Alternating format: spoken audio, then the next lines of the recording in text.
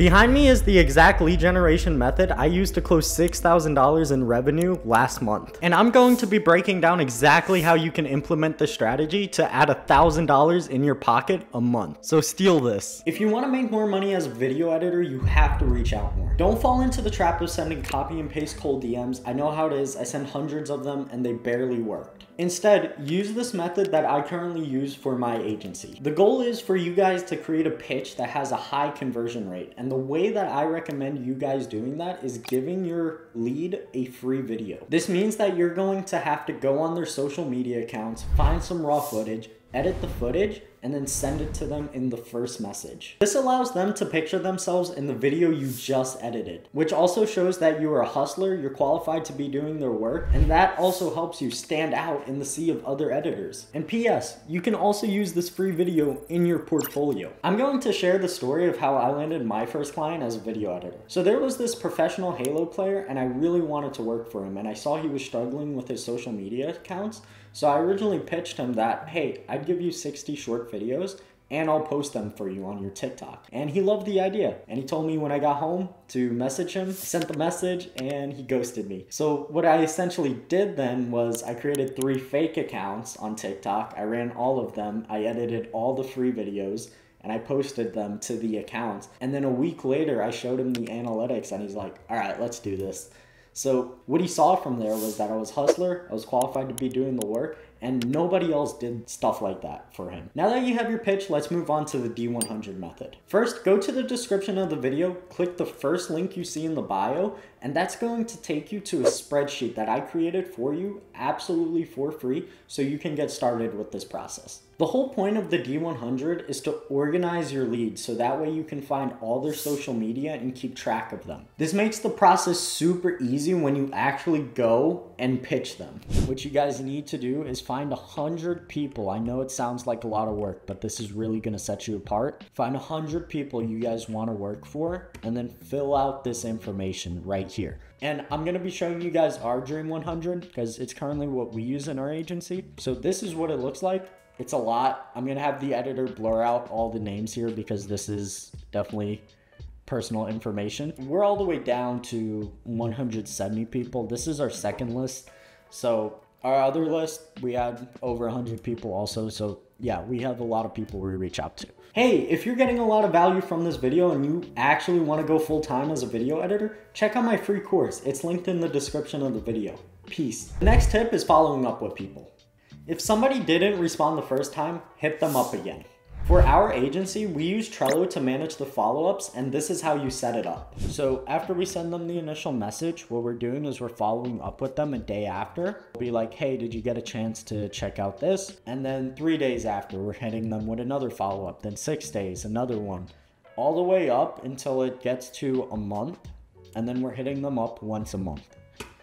And even if they don't respond, we're still following up with them. We are like hunting these people down basically because we want to work for them. Now, I'm going to break down exactly how you can create your free Trello board. We pay for Trello because we use some of the automations in it along with Zap for the agency.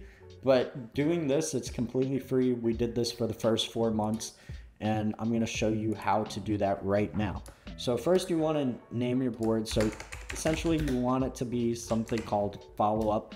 I'm just going to put test for now. First list is going to be lead in and then you're going to add that list. Second list is going to be first message sent. You're going to add second, uh, first follow up, second follow up, Okay, and then that's gonna go on until like you're at your fifth or sixth follow-up, and then when you guys get to that point, just start adding more lists. But for the purpose of this video, I'm gonna keep it short. You're gonna do either they're in the pipeline, meaning they responded and you're like talking to them actively now, or deal lost. So deal lost. So they said, stop messaging me. Like one of her first messages was like this guy saying, stop bugging me, which is really funny, but it's whatever. Okay.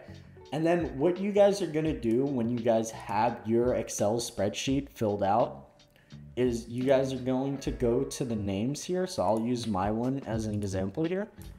You're gonna just copy a few or copy all of the hundreds you have. You're gonna go back to Trello. Gonna go to add core card. Gonna hit this and then add card. It's gonna ask you just one card or create 12 cards. Hit the create 12 cards, 100 cards, whatever it is. And this is what's gonna happen. It's gonna automate all this information. But yeah, it's gonna fill out all that information for you. And then when you send them the first message, you're gonna move them over to the first message. When you send them the first follow up, you're gonna send it over.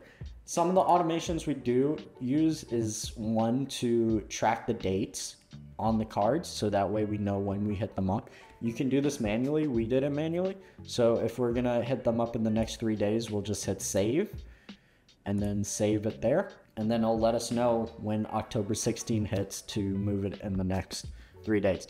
And then in this box right here where you're going to input is all of their information that you had over here. But all this information from their Facebook, their X, their Insta, any information you have on these guys, like you're gonna fill it out here. So what we do on ours is like we have all their information and then we write like a few bullet points about what they do, the service they provide, some more information so we get a gist because it gets really difficult keeping up with like hundreds of people. So we just want to make sure we have proper notes on them on what they actually. So yeah, that's how you guys set up the Trello board. It's super easy to do and it's free. I really recommend you guys do this. So I understand that this is a method that a lot of editors don't use. I didn't use this when I first started out. I just started doing this four months ago and it's been working for our agency very well. Okay, we are getting a lot of traction, a lot of engagement back with prospect. We're just signing our first deal, and we signed a deal uh, two weeks ago for $6,000. This method does work. It's just really hard and it takes a while to get the ball rolling. It's completely different from how a lot of editors work. I understand that. But if you are a really aggressive editor and you really want clients that you're happy working for, this is the method you guys should be using to get your clients.